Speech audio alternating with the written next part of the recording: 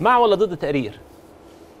لا التقرير كويس جدا. لا مع مع مع التقرير في في مضمونه بس مش في منطقه يعني.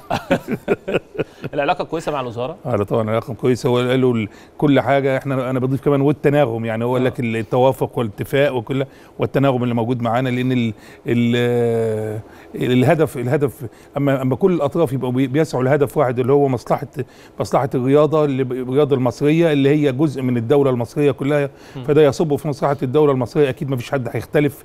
وإن اختلفنا في حاجات هنختلف في حاجات برضه للصالح ونقدر نقعد على ترابيزه ترابيزه المفاوضة ونحلها وكل حاجة والكلام ده بيحصل كل يوم والحمد لله الدنيا الدنيا ماشية كويسة وإحنا نع- نعد إنها هتبقى أحسن كمان ليه. دايما كانوا يقولوا شد وجذب جايز يعني الل- الل- اللجنة الاولمبيه سابقا يعني بتركيبتها السابقة كان لها كان, كان لها طبيعة مختلفة كان كانت اجريسيف شوية في حاجات مش عارف إيه. إحنا شفنا المواضيع دي دلوقتي. إحنا لقينا إن الوضع اللي إحنا فيه والبلد والأمور اللي ما عدت فيها البلد ما تستحملش الا إلا اتفاق واتفاق واتفاق وتناغم ولا في شد ولا ولا جذب.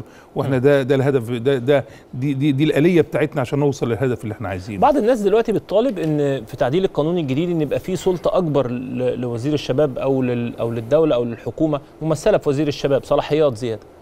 والله أنا مش شايف إنه إن أنا مش شايف دلوقتي ان إن وزير الشباب عنده صلاحيات قليلة.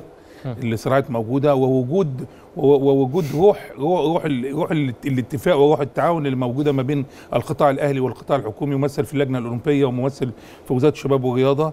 إيه ده ده بي ده لوحده بيحل كل بيحل كل الأمور.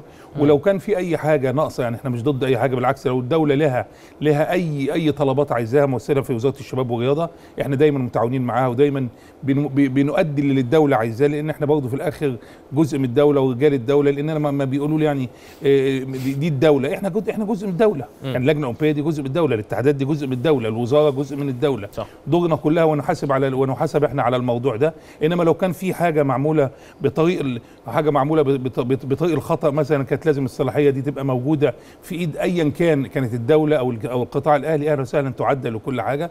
بما لا يتعارض مع الدستور المصري اللي بيقول المعايير الدولية والمواثيق الدولية بما لا يتعارض مع مع مع ال مع ال مع ال- المواثيق اللي مصر موقعاها مع اللجنة الأولمبية الدولية بما لا يتعارض مع حرية الرياضة مع كل الكلام ده.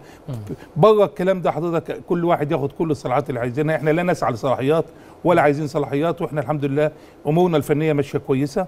ولو لو اتعطلت في حاجة نقدر نقدر نشرح للي قدامنا يعني عنه.